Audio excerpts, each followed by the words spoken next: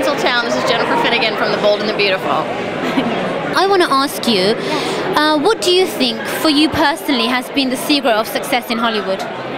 My secret? um, I, I, would say I, I, like to keep it fairly low key and really focus on the work. Um, as long as uh, my work is good, then everything else should follow.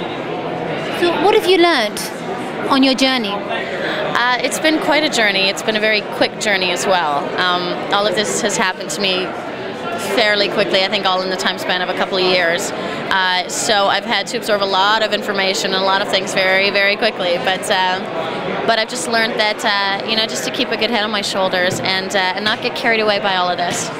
And we have to ask you this vitally important question: What does God mean to you? Does God mean to me? It means whatever you want to believe in. That uh, that there's something greater out there, and to have faith.